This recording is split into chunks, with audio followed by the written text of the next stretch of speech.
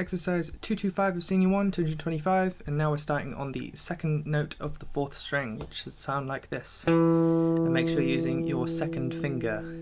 It might seem like you want to use it for the use your first finger, but keep with your second finger, please, because it'll make things a lot easier for yourself.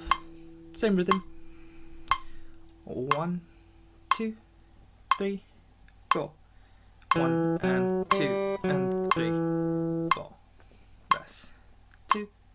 three, four. One and two and three, four.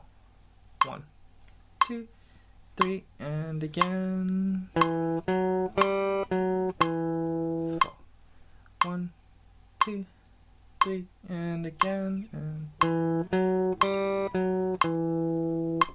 two more times. Two, three, four. One and two and three, four. Two. Last time. Three, four. One and two